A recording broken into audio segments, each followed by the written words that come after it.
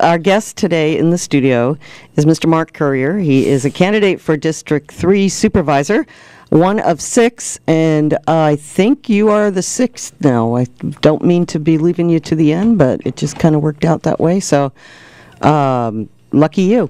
Uh, closer to the election, the longer you're going to stick in their heads, so that's a good thing. It is a good thing. Having been on the radio two days ago too, also, and yeah, oh good, you're recent getting the articles play. in the paper and whatnot. We're doing the uh, the final thrust at the right time. Very good, very good. That's that's the the key to winning a campaign. Absolutely. I thought honesty and, and agendas were the key. Well, timing is is crucial too. It's all a big package, I think. Yes. I'm sorry, I'm, I feel a little warp-minded today, so don't mind me. Ah, yeah. So welcome and thank you for joining us. And I'm Thank going you. to defer to Peter for the questioning to begin. And um, the phone lines will also be open, uh, 263-3435, if anybody has any questions for Mark. And I want to ask in advance that you take your questions off the air so we have the maximum amount of time, and you keep your questions to the point of the conversation. Don't call to talk about something that we're not really talking about. We just want to keep focused so we can allow Mr. Currier the maximum amount of time. Thank you. All right. Thank Over you. to Pete the tax guy. Thank you. like we do with all our candidates, we'd like to start off with a quick overview of who you are, what you are, why you're running, all that good stuff. Just like a brief bio. Yeah. Great. Uh, I'm running because uh, it entails, that position entails what I've been doing a lot of in this county, and that is uh, trying to improve it and supporting environment, seniors, youth, business. Uh, It's what I do regularly. Uh, As an example, I work very closely with multiple agencies, uh, special districts, all the way down to regional water quality control people. Um, I am diligent in going to meetings. Uh, I was recently at the Upper Lake Ranger Station for a a subchapter, um, Subpart A, travel analysis overview, uh, the management of roads in the forest and single track for motorcycles and whatnot, and how that affects our, uh, what's below that, waterways, lake, whatnot. Um, I, you got me excited about wine. I just recently toured the newest wine kiosk, uh, Cache Creek Vineyards, Highway 20, east of the Oaks. Was uh, very impressed. The uh, I think the ladies will be hanging out in that beautiful Italian tile and marble bathroom a lot. I mean, yeah? every step of the way, it's Wow, it's it's a beautiful, beautiful place. So, uh, uh, and many other things. Uh, I'd like to point out that uh, last Wednesday I received, I think, the best endorsement, uh, and that was uh, Volunteer of the Year award from Lower Lake High School, signed by the Konocti Unified School District board members. excellent. So that's, I, I pride myself with that, and I really thank the people involved behind me with that support. That was a wonderful evening. And uh, uh, many things. I, I am supposed to be at the LAFCO meeting at the Clear Lake City Hall right now, so I'm going to jam over there after this. Um, that's a really important thing. It is, very much so. Yep. And the Yep. agency formations and where we're going with all these agencies is Right. really Matter of fact, what, let me, just since We we're have going someone through covering this, that right now. Cool. based on the information I provided, I am so far from an expert in this area that I don't even try to voice my opinions or understanding of it. But what I've been told is that um, with what's going down is that really there's some um, recommendations or voting going on that's basically going to give. Is it the water resource? What's the name? Of the, DWR, Department of Water Resources. okay, they're overseeing that. And Right. basically, what's happening is they're basically squashing or eliminating any real true oversight, where the whole financial well-being of this agency is strictly by the board of supervisors only. Is that true? Uh, Yes, there is a thrust in that direction. Also, that the, uh, the, the Agency of uh, Clean Water Protection of the county. That's it, right? And so what is going on right there, right now, is a better focus on getting the public opinion into that instead of 255 North Fourth Street, the courthouse uh, elements. So working with, also getting the expert agencies involved as well, and their opinions need to be listened to also. It's, it's the lineage of how all this is set up, so we can get the best results from all these doings. Right. For those listening who really take a sincere interest in this, I advise you go down to the Clear Lake Courthouse, uh, City Hall. City Hall, and pay attention to what's going down because I can't elaborate what a couple of our callers uh, last week mentioned about it, but I know it's a very serious thing, and if you don't want our county government having full control of these resources, you need to get down there. Absolutely. We're, we're also videotaping Yes. it, and it'll be made available. Absolutely. Excellent. Yes. So, all right. Um, we just met for the first time a couple of weeks ago. Yes. So really getting to know you. You've done some investigation work. Oh, cool. Not really. Um, looking at your website, um, you call yourself the man of the people. Yes. Elaborate. I'd love to. I've worked very closely with people all my life, um, especially in the public sector with uh, risk management, ensuring people's businesses that are their livelihood. And I've always made it a point to meet at their homes, uh, have them come to my home, office, whatever, and do the best for them. And it's a hot tin roof because I'm dealing with the underwriter of the insurance companies all this year. And I've been there, done that. I understand. Yes, so you have to make it work in the underwriter's eyes. However, uh, the public is the most important element of this whole picture. So, uh, 30 years of doing that, and since moving here, I've been very involved in whether it's Kiwanis or 4-H or whatnot. So I love working with people. I love working with kids, and the importance is the ability to be intuitive, clairvoyant, and get people that disagree to agree on a main subject matter or a solution to an issue. So we've been very effective. Uh, the groups I work with, we, we have been very successful, everything we do. Um, like a big feather in my hat is uh, our advisory board, how passionate and dedicated uh, we were to recently uh, renovate our water plant in Spring Valley. And that took at least three years. uh, And working with the Department of Public Health and our uh, money we had in our coffers from water billing, a special district. Special districts really supported us in the whole matter. And we got the thing done. And Yeah, that's uh, awesome. it really is important to know how to work with people. And if the fur and uh, P and V starts flying, you have to know how to thwart that and keep people focused and going in the right direction. So, And that is definitely a challenge in this area. absolutely, absolutely, So cool. Okay. you got to be good. Absolutely. Okay, uh, on the part of your website, and I'm kind of ad libbing what you wrote. Um, your website states that you wish to bring light manufacturing, warehousing, more agricultural, and small business to afford residents a wider range of employment available and establish a minimum living wage ordinance. This will require more non recreational jobs, more education, more social services. I have several questions on that. My first one, which is kind of, well, obvious to me, is what do you mean by a minimum living wage ordinance? Uh, that got printed wrong on Fair my enough. flyer. Okay. It, it means living wage. Uh, living wage, this county does not have a living wage ordinance. Half of the counties in the state do. I believe that this county would benefit from preparing an ordinance and making an ordinance supporting living wage. Uh, Many businesses I talk to don't like that. Uh, They think that they have to pay their employees more money. Um, I believe it's like hiring a band. If the band's good, you have to pay. And if you have good employees making your business profit, you have to pay commensurate with what they're worth.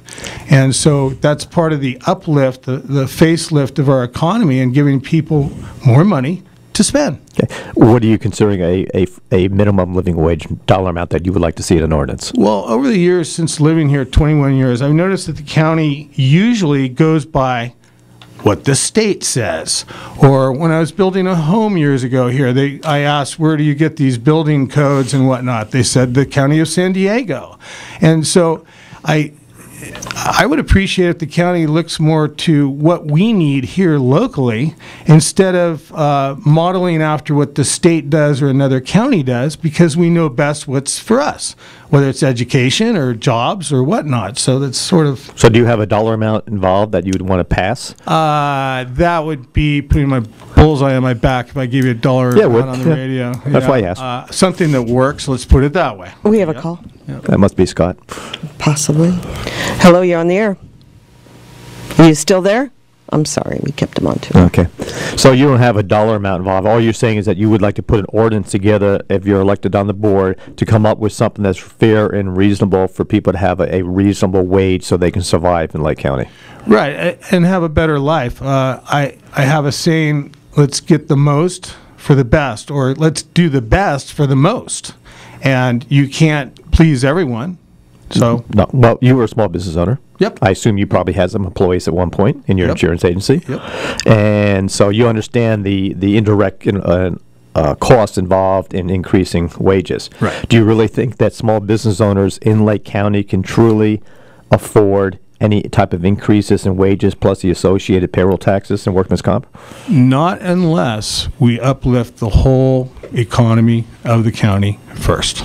Absolutely. Okay. Things have to be implemented and things have to be changed so the businesses themselves are more profitable in this county. Okay, and how are you going to go about that then? I mean, being a uh, what I do for a living and having been a business owner myself almost my whole life now, Right. I know what I do and how I go about it. But there, I'm a different. I'm quote unquote some part of a professional type occupation. Right. If I'm running a hardware store or a, a shoe store, or a clothing store. Um, I I think it's a little bit different scenario on how you market. And so, how do you how do you plan on increasing the viability of small businesses in the county? By making incentives to attract the businesses here, and by doing that, it's, it could be a tax incentive, it could be the permitting process. The permitting, permitting process uh, for new businesses coming to this county are at times difficult and uh, much too um, evasive for the, the company to bring a new business here or the existing businesses, what they have to deal with. So by attracting them, it means uh, technology. It means sending, uh, uh, what are the, what's a good word? Um, uh, They work for the embassy, uh, uh, people that go out and promote the county to attract businesses. Ambassadors? Um, just below that, uh, oh, anyway, you, you get very dedicated people that are knowledgeable to go out around the state or even the country.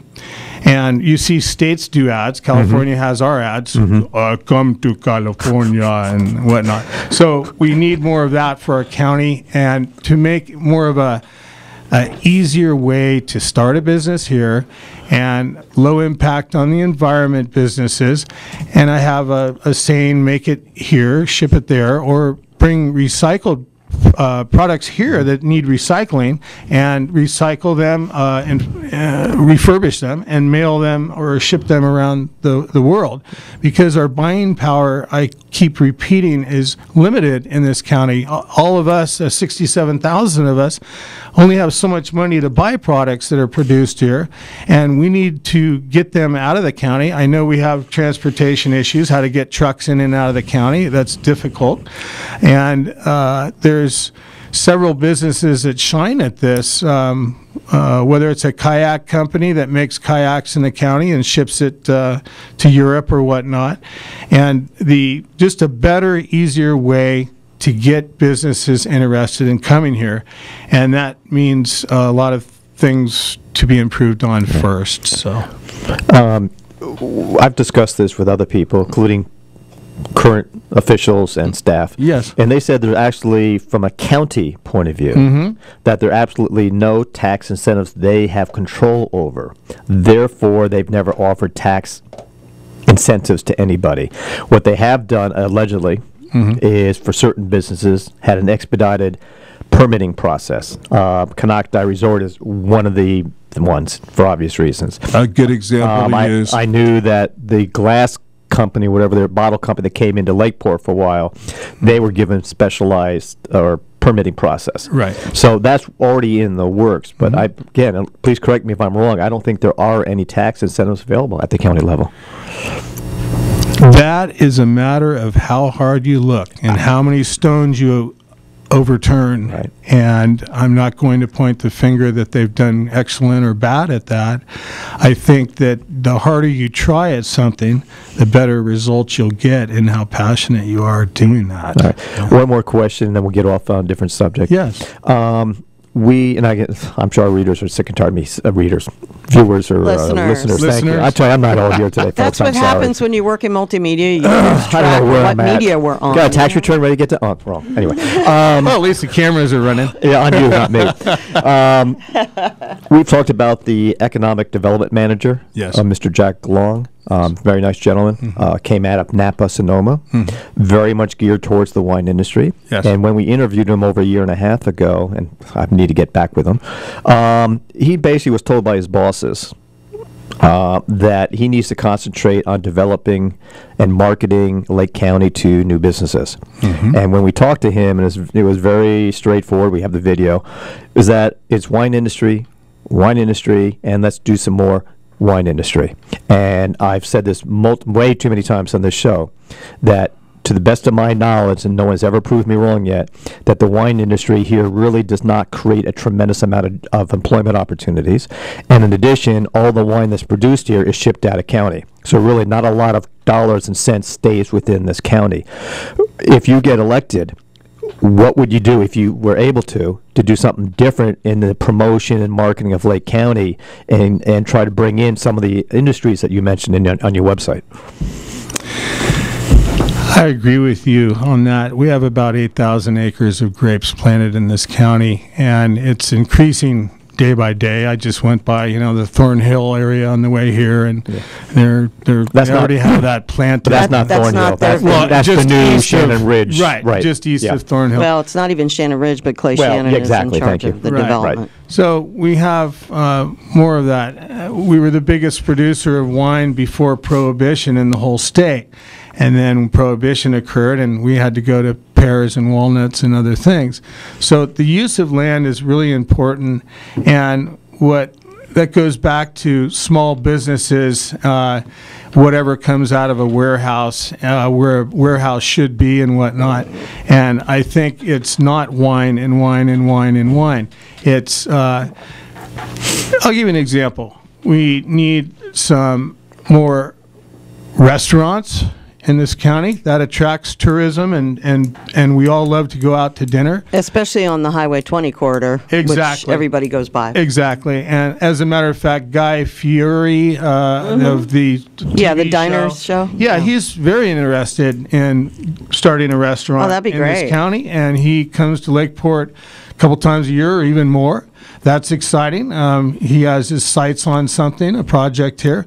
That's a good example. Another one is uh, buses that take mountain bikers up into the forest, and they don't have to ride up the hill. They just do downhill in the Oh, forest. wait, where, where's the fun So- in that? Isn't that cheating? Well, then the people that really want to work out, There you go. They can ride up the hill. Okay, so they wouldn't be prohibited to doing the uphill. right, want. right. Okay. So I, as an example, I've I've done the Downieville Downhill, which is the most treacherous single track mountain bike course in the nation, and they have shuttles that take you up for a small fee, and you do this mountain biking down you know, the, from the top of the, the, the butte there.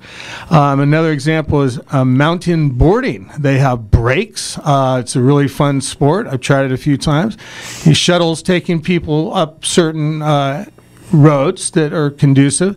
They could even close it uh, to regular car traffic for the mountain bikers and the mountain boarders. Also, we have one of the best wildlife corridors in this county, uh, east of the Oaks. And it's important for people to realize that the, the Sierra Club does have hikes uh, regularly, whether it's Knoxville or that corridor, and that involves the Snow Mountain Wilderness to Berryessa uh, project that's going on, and I hope that passes as well because that's part of the attraction. And uh, Konocti opening up is an impeccably important. It's got to open up again. We all miss our music. Well, we've heard the escrow's been delayed again Oh, because of gosh. lack of They have no financing. financing. So You're kidding me Nope. again? Nope. That's killed it every time, Okay, the pro- financing. okay, the- and here's, I'm, this is your show, not We're not mine. saying they're not coming up with it, but But the it's, point on- is, it's extended. they made certain overtures that they had financing in place. At least that's my understanding. Right. And when we knew they went past the original escrow in December, then March went by, et cetera, et cetera, we made some phone calls and found out that um, they they're they're not going for loans. They're going for investments. So they're doing either some type of uh, not public offering, but uh, God, my mind's not working today. Anyway, they're trying to bring in investors as a unit, and they're not getting being very successful at this point in time. So therefore, they do not have the sufficient funding available to move forward. So they keep on pushing back escrow, Well, correct me if I'm wrong. They're looking at about 15 million to give it a facelift. something like that. Yeah. and then they purchase price was about seven and a half to eight million.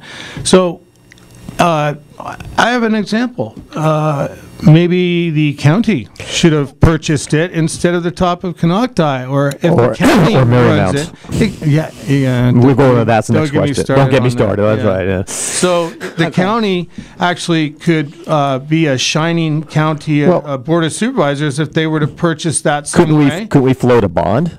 We could do a bond measure. We could do, uh, we could make the uh, state come in with funding and predicate it on if we get the resort running again, we have a higher need of funds to increase the health of our big lake here. Right. So you mix it together so it works and you integrate it so some people start listening and they go, "Oh, that sounds like a good idea." Because that thing needs to reopen, you know, way yesterday. So if you get elected then, Mm-hmm. and for whatever reason, we're not saying we want this to happen by any means, but Right. if the financing doesn't go through and the, and the deal gets canceled, Right. would you be willing to go to the rest of the board and start looking at some type of preliminary uh, draft of a, of a proposal to maybe float a bond or to actually try to figure out ways to get funding to buy the resort ourselves? Absolutely. And then the citizens of this county could actually buy part of that and be investors within the, our own community. What we need is the 67,000 people in this county to be stakeholders in Uh, it. That's what I mean, yes. Because it provides jobs, Uh, recreation, music. I mean, and hopefully profitability. Exactly, exactly. That's that's the bottom line And too. because always- we're losing what three hundred to four hundred thousand a year on the TOT Absolutely. from that absence. Right. So it's a huge gaping hole that has to be cured immediately. Okay. We have any callers? Not yet, Okay. but let me just squeeze this in since we're on the, t- the subject of tourism and hotels and resorts. Yes. What about what are your feelings about the uh, Marymount project? That, thank you. That was, go, go for it. I've been going to almost all the board of supervisors meetings since the feds shut down the government October 1st. That was when I signed up and started really going to meetings aggressively. And what I've seen is the bid proposal changes on the elevator and this and that and the other thing. And uh, it's a, uh, I really looking back in hindsight, I don't think the it should have gone really through because it's a limited number of students as well. We have a wonderful Yuba campus and educators. We have a wonderful Mendo campus and educators. Uh, I think bucks should have been thrown more at those two campuses than. Uh, Well, I don't think it was about that. It was about what were they going to do with that building? Yeah, they And had to take it back. They had to take so- it back, so they had to put the money into it. And I think the county's thoughts were, let a school take it over for now. If it doesn't work out down the road, we're putting in all the improvements. It'll still be our building at the end of the road. We'll have all the improvements done. Then if we want to do a resort or something else that may be more lucrative, we can do that. So that's the impression that we got in speaking. Right, and I have a, I have a specific question. I don't know if you can really answer it well, with. can we go back one second? Yeah, go ahead, one? go. Um, I think they could have utilized that campus better or that hotel better. One of my visions for that place was, before they made it into the, the college, was a youth senior center where the seniors uh, are teaching youth their knowledge, and then they get to hang out with the youth on projects because uh, the youth keep them alive longer. It's like uh, seniors with dogs. Yeah, that's a or- great or pets, idea, and you know? that's something that actually could be implemented with the current senior centers that exist exactly in your district, and Right. you've got some good ones there. We so do, we do. I could see that being a reality, and that would be a great project to work on. Well, I've been on things like that, and it- it's but unbelievable. that building is much bigger for something. It, it needs to be used for a real or a uh, multiple money-making uh, type of organization. Right. A nonprofit thing just wouldn't be Right. practical with all the money has to be in, like invested. listed. A, a junior achievement kind of thing. The seniors are showing their skills, and then the, the youths Mm-hmm. Sure. are putting out a project, uh, excuse me, a product, and they're selling it. Right. So uh, implement it better. Mm-hmm. They're- and the they definitely beauty could use it better. Yeah, i- and it's fabulous to see youth and seniors working together. It's just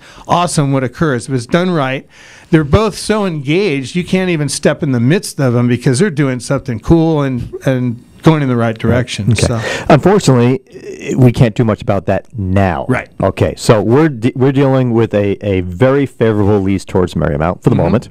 Um, the- with the county, meaning our money, folks, we spent over 5.2, 5.3 million dollars in growing, and we're not getting any return on our investment for the moment. Correct. not There's no ROI yet. Right, but I'm not being critical because we had a nice chat with staff who are in charge this project. and We understand their point of view, and so it's it, there's Yes. other information back. But here's my problem. Mm-hmm. And again, if you are elected and you get to be sitting on that board, we as media contacted Marymount College. Mm-hmm. Have you been stonewalled?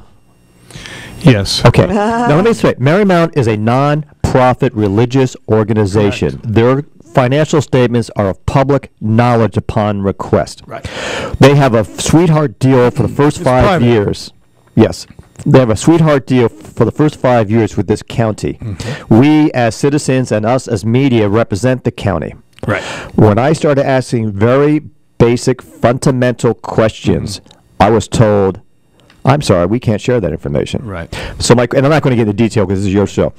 So, if I convey, if you get elected, and I convey some of this information uh, uh, to you, would you be willing to talk to the rest of the board, or and get more of a communication flow going from Marymount, where we can get a factual basis? I want to know how many students are being enrolled, how many employees are you hiring right now, what are you mandated to hire, what are you doing? All Well, the answers what we were- understand, And what it- students are you very minimal. attracting? Exactly. What's your core of students that you want into From your what we program? have been told, it is very minimal, like in the single digits. yes. Oh, absolutely. For students, eh, but they don't officially start until August. Right. So we can't really say anything until then when we see what enrollment, track record. enrollment. Yeah. Well, the point is they're they're being very secretive. That's, they that's shouldn't point. be that way. Yeah. Well, to answer your question, Peter, um, as candidates and ballot measure, uh, you have to fo- uh, file with the registrar of voters office all these forms it says how much money, where to go, how'd you get it, whatnot. That's called transparency. Right. So I believe in that. So therefore, if uh, whether they're a private educational institution or not, I think the people of the county, where they have a college in the midst of, it should be transparent and your question should be answered. Yeah. Because with the most input and the most knowledge, that's how we make better decisions. Especially when we're footing the bill. Thank you. Yes, exactly. That's what I I just I don't, don't, like. poke the taxpayer, and then all of a sudden it's uh, it, we could get into the church and state thing also.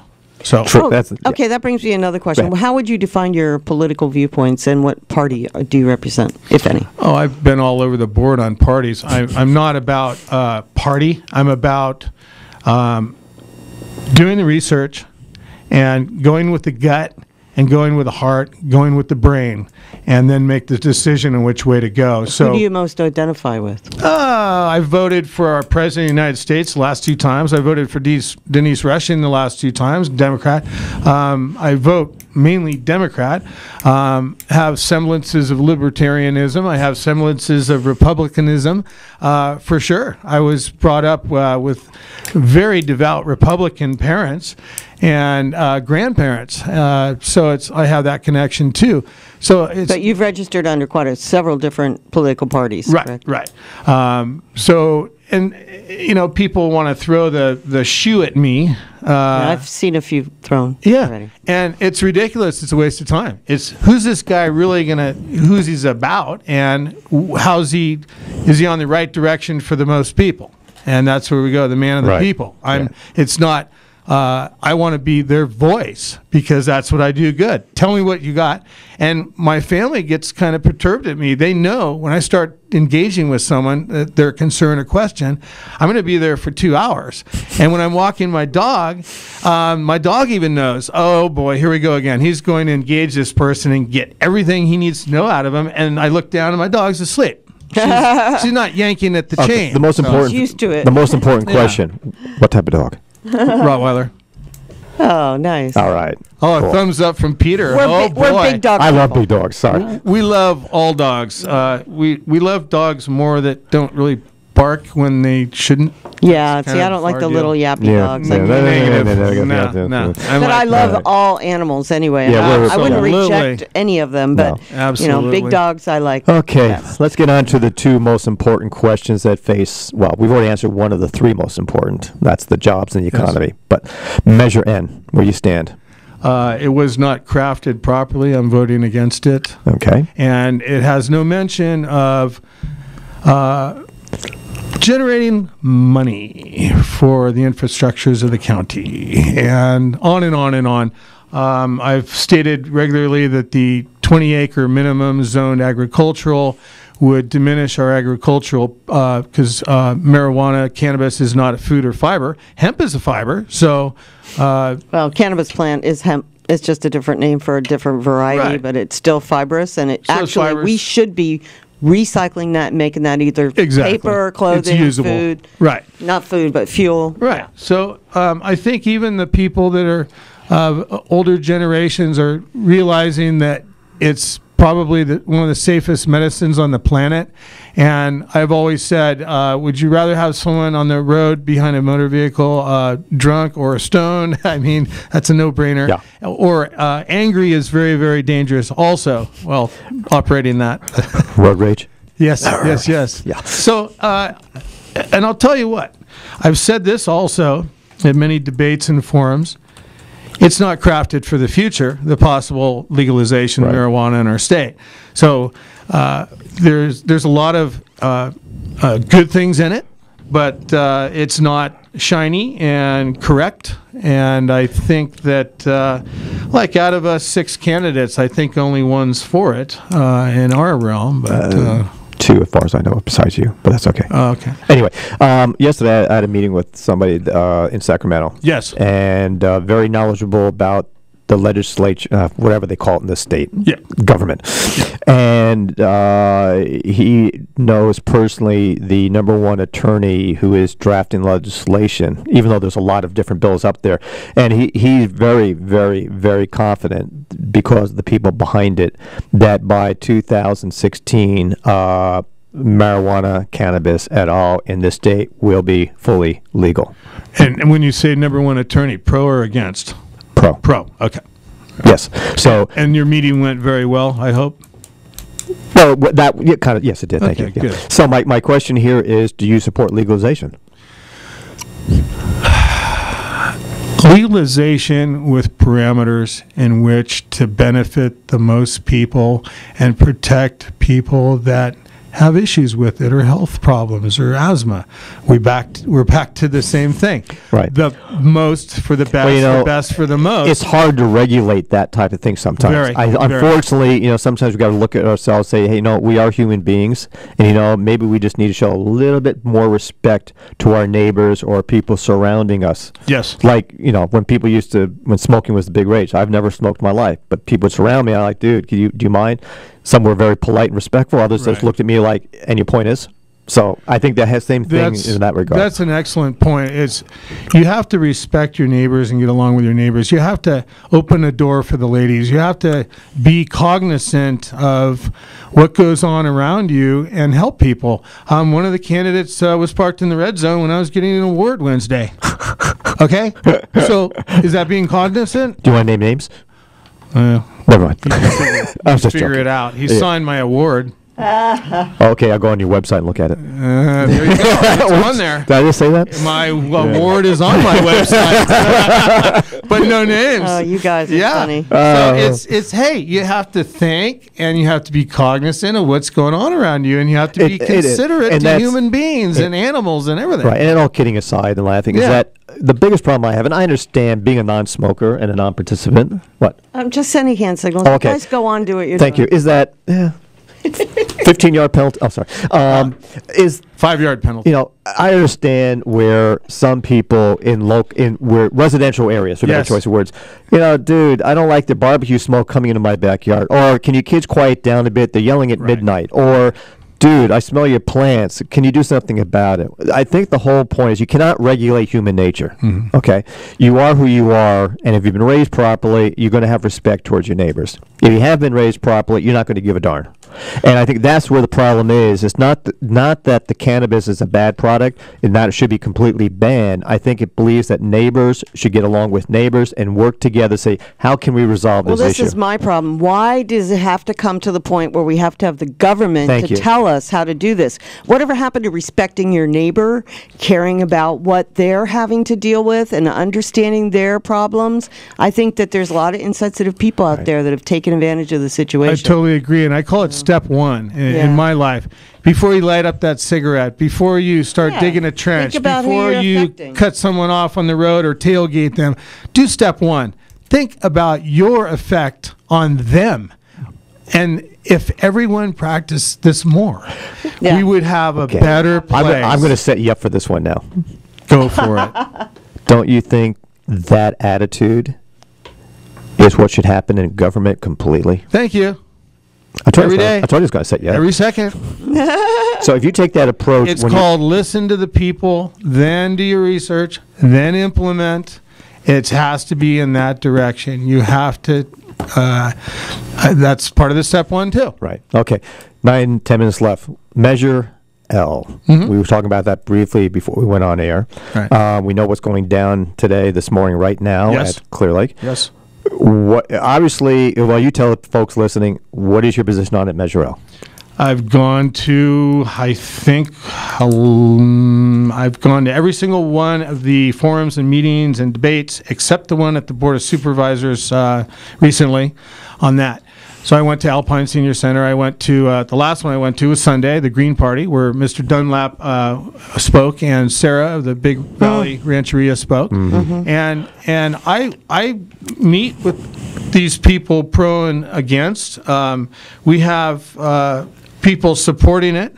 Um, $113,000 was donated by the uh, National Association of Realtors. Absolutely. And 13000 uh, from uh, local And people. who were they donated to?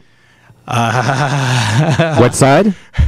Yes. Thank you. Yes. So, um, sorry, all my friends, including Harry, Dr. Harry Lyons and whatnot.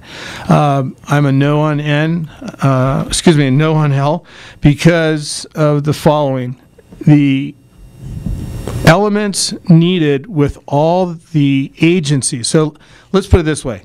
Uh, we've talked about Vector. We talked about Department of uh, Health Services, State of California. We've talked about Regional Water Quality Control. We've talked about Fish and Wildlife. I've been engaged with all these people representing these agencies, and they are saying, okay, in order for this measure to work, it would have to be these agencies have to be set up. As an example, the Clear Lake Advisory Committee is on the ballot measure, but it has been dissolved. So that's one of my points right there.